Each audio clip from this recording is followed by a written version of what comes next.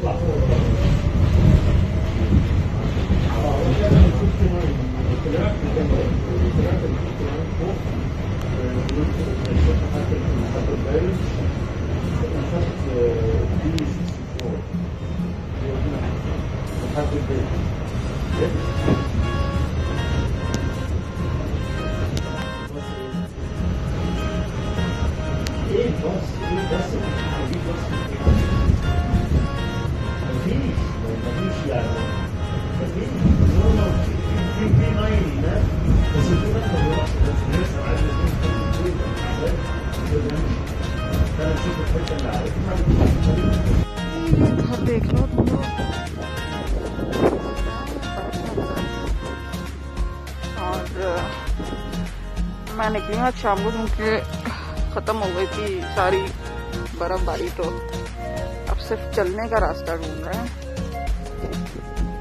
जिन बेचारे लोगों के घर हैं, उनको सब तो इजहार है, अफसोस और हमदर्दी कर सकते हैं।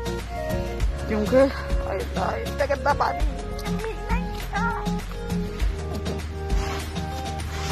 कितनी गंदी सड़कें।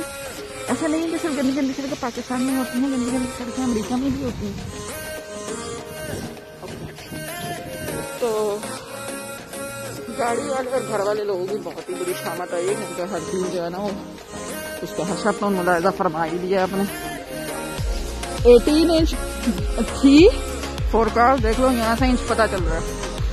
And it is around 15 inch 15 to 16 inch जो है वो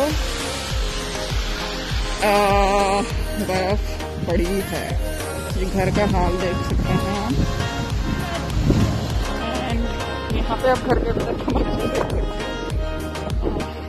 सिर्फ़ अपनी जान बचाने के लिए नीचे देखना बहुत ज़रूरी है, वरना बर्फ़ बहुत सख्त है और जो गिरेगा उसका मुँह टूट जाएगा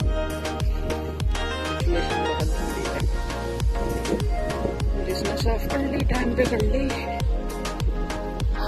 जो रह गया, बेचारा फंस गया। This is the situation